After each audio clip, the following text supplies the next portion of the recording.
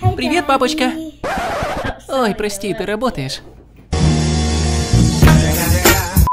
Я понимаю, что некоторые из вас спросят, Антонио, зачем мне наряжаться в костюм, когда я могу просто надеть спортивную форму? Я могу целый день быть в пижаме, когда работаю из дома. Когда я говорю нарядиться, то я не имею в виду, что это обязательно должен быть костюм и галстук. А что я имею в виду, так это приложить усилия, а не выглядеть так, будто вы уже сложили руки. У вас в голове всегда должна быть картина вашей лучшей версии. Вот как надо одеваться. Если вы предпочитаете спорт-пиджаки, тогда вперед. Если вам охота выглядеть как как пират, кто я такой, чтобы вас судить? Но суть в том, чтобы одеваться как успешный человек, которым вы хотите стать. И вот первая причина. Когда вы опрятно одеты, то вам и думается лучше. Стой, стой, ты хочешь сказать, что я стану умнее, если лучше оденусь? Да, звучит как безумие, но так и есть. Когда вы одеты более формально, то вы будете чувствовать себя более авторитетно и уверенно. А также другие люди будут вам больше доверять, в том числе и вы. Это я взял из исследования 2007 года. В нем изучались влияние рабочей среды на рабочих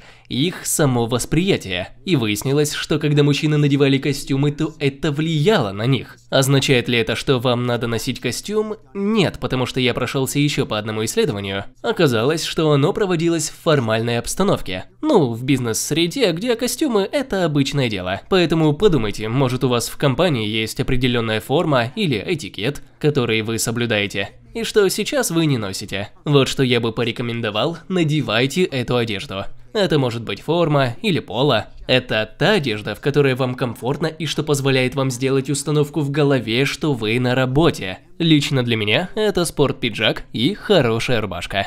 Вторая причина, почему следует одеваться, потому что вы не просто будете себя чувствовать более эффективно. Согласно статистике, вы и станете более эффективным, ваша продуктивность повысится. Погоди, если я красиво оденусь, то стану лучше работать? Да, я серьезно, давайте взглянем на штуку, которая называется «одетое сознание». Ну или как ваша одежда влияет на вашу продуктивность. Вернемся в 2012 год. Исследование, опубликованное кафедрой менеджмента Kellogg Северо-Западного университета США, в нем рассказывается, как менялось поведение студентов, когда им говорили, что белый халат – это либо рабочий халат для художников, либо форма доктора. То есть это был просто белый халат, который давали разным студентам. И те, кому сказали, что это докторская форма, проходили тест согласно данным статистики лучше, чем те, которые думали, что это рабочий халат художников. В результате они выяснили, что одежда, которую мы носим, влияет на наше поведение. Поэтому только подумайте, как это отразится на вашем дне. Вам нужно, чтобы ваше сознание было настроено на работу. Мы это можем видеть и в спорте. В бейсболе часто у спортсменов есть счастливые кепки, и они верят, что когда они ее надевают, они будут лучше играть. Поэтому если у вас есть такая вещь, в которой вы чувствуете себя хорошо, она помогает вам чувствовать себя на миллион долларов, тогда надевайте ее. Таким образом, вы повысите свою эффективность.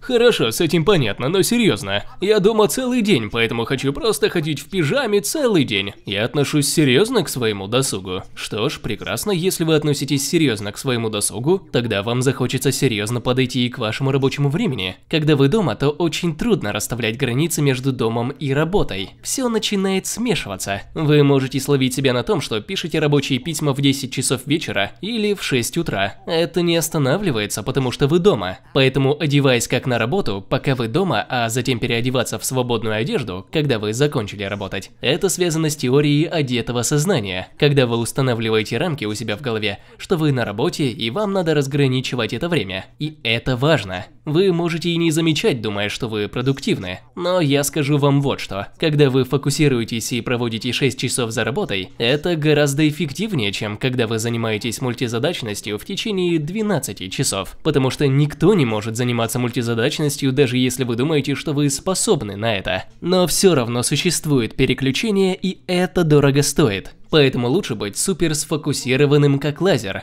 и использование одежды как униформы помогает разделять свою рабочую одежду от досуга. Хорошо, я понял, но что еще ты можешь рассказать? Что это поможет получить мне повышение или заработать больше денег? Ну, вообще-то да, 232 тысячи долларов, как говорит Дэвид Хаммермэш. Дэниэль Хаммермэш, экономист и профессор Техасского университета в своей книге «Красота платит». Но давайте обсудим вот что. Если вы одеты соответствующе в течение рабочих часов, вы можете присоединиться к неожиданному звонку по Zoom. Вы можете созвониться по видеозвонку с клиентами и заключить эту жирную сделку, потому что вы можете себя показать, если вы выглядите как профессионал. Когда вы общаетесь с боссом, когда вы делаете видеозвонки, вы не просто эффективны, вы также и выделяетесь. Босс делает пометку у себя в голове, что этот парень красава. Он работает из дома, как и все, но он по-прежнему держит марку профессионала. Даже скажу так, он будет относиться к вам как к профи.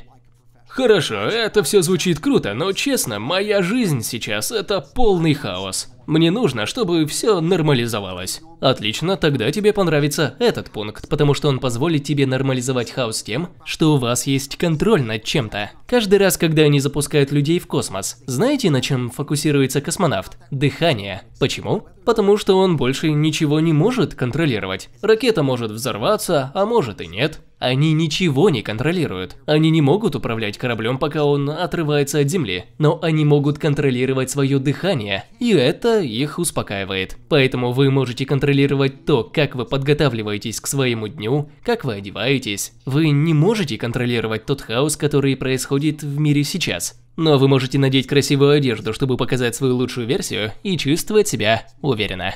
Итак, красавчик Антонио, я уверен, что у тебя есть еще и бонус причина, почему мне следует выглядеть хорошо, когда я работаю из дома. Ну конечно, у меня есть бонус. Когда вы одеваетесь дома, то у вас есть возможность экспериментировать. Вы можете попробовать различные комбинации, которые вы никогда ранее не пробовали. Вы можете надеть ту шляпу, которую никак не могли надеть, потому что не было повода. Вы можете задаться вопросом, если вам вообще нравятся галстуки. Очень часто люди думают, что костюм и галстук это неудобно, но это не так. Это просто непривычно. Так что как насчет что-то изменить? Может попробовать отрастить бороду? Так много всего, чего можно попробовать, поэкспериментировать, на что у вас вас, может, не хватало смелости делать в офисе. Но когда все нормализуется, вы сможете прийти в своем новом стиле и чувствовать себя уверенным. Секретное оружие, о котором я вам не рассказывал? Нет, это не цветы, хотя мне они нравятся, и, наверное, они могут сделать вас более эффективным, но это правильные духи. Подходящие духи, ребята, могут перезапустить ваш мозг. Если вам надо что-то, чтобы попасть в рабочее состояние, что-то, что добавит вам фокуса, вы можете открыть для себя другие состояния запахов. О, вам нравится этот свежий запах, ноты бергамота. Он вас пробуждает лучше, чем кофе. Ну, или наоборот, вам нужно что-то, чтобы успокоиться в этом хаосе и неопределенности. То, что успокоит ваш мозг в самом начале дня, потому что вы хотите распланировать все. Друзья, найдите свой аромат. Если вам интересно узнать больше информации, подкрепленной наукой, о том, как духи могут сделать вас более эффективным, то я подготовил для вас это видео.